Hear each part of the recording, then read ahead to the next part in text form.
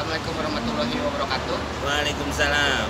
Oke, eh, teman-teman pegiat literasi, teman-teman pegiat TBM yang ada di Indonesia, saya sedang berada dengan eh, Bang Komeng ya. Upuy. Nah ini eh, Bang Komeng kan kami dari Forum Taman Bacaan Masyarakat ya, Ya, pusat. ya. Di sini eh, minta apa ya semacam dukungan atau motivasi untuk masyarakat agar lebih termotivasi lagi untuk membaca gitu. Eh, mungkin eh, kita harus lihat dulu namanya ya. Selama ini tempat membaca itu selalu disebut taman bacaan. Jadi karena taman ya, jadi orang tidak mau membaca hanya bermain-main saja di situ. Bagaimana kalau kita harus sepakati untuk merubahnya menjadi suatu kewajiban. Taman kan identik dengan bermain, dengan nongkrong. Kayak taman-taman juga di tempat-tempat seperti itu ya. Eh, eh, dia lebih ke healing ya kalau taman ya kalau taman ya jadi mungkin itunya dulu yang harus diubah kalau saya yang saya merasakan sendiri anak saya kembar. Saya seperti eh, apa ya namanya kayak uji coba ya. Eh, yang satu dari kecil saya kasih buku-buku. Awalnya saya kasih buku nangis karena saya kasih lihat buku tabungan saya yang udah habis saldonya jadi, jadi saya kasih buku dia demen ya waktu itu belum ada tulisan hanya gambar-gambar. Yang satu lagi enggak ya terlihat sekarang sudah SMA yang saya sering kasih buku sekarang dia senang baca. Cuman kalau mau diajak pergi jadi repot karena setiap tulisan sama dia dibaca. Di belakang truk aja kalau kelewatan saya mundur dia mau baca itu apa tulisannya gitu. Sampai eh, dia playgroup tuh sudah mulai bisa membaca. Walaupun abjad waktu itu di- diberikan oleh gurunya belum sampai Z jadi waktu itu melihat mobil merek mobil eh, melihat tulisan Suzuki dia bingung dia cuman bisa baca su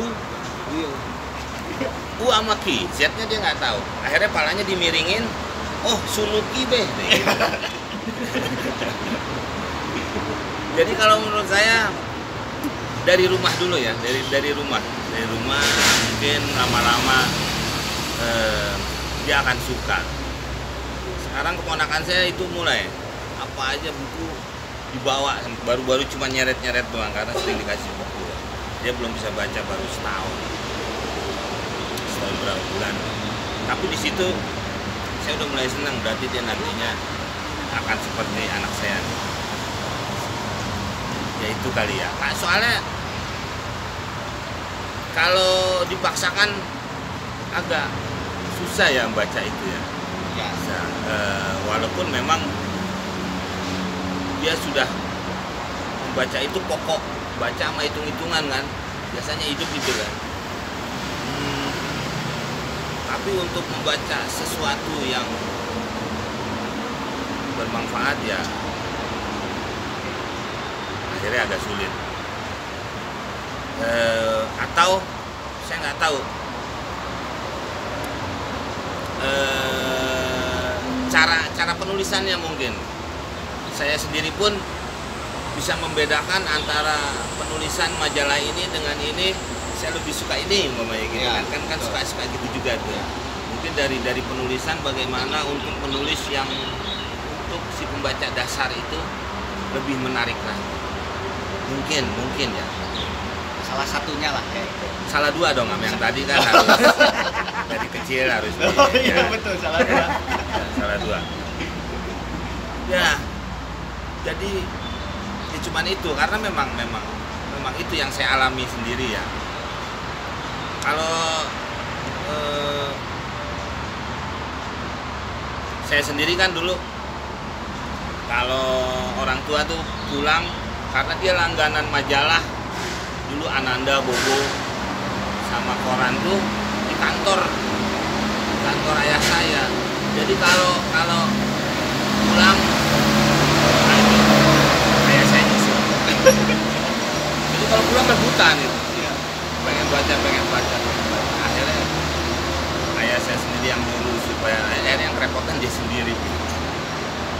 Sampai dulu ada menyisihkan beberapa uang jajan ya untuk membeli buku Gitu ya. seperti itu. Dan juga memang waktu itu tetangga saya itu eh, Jair Warni.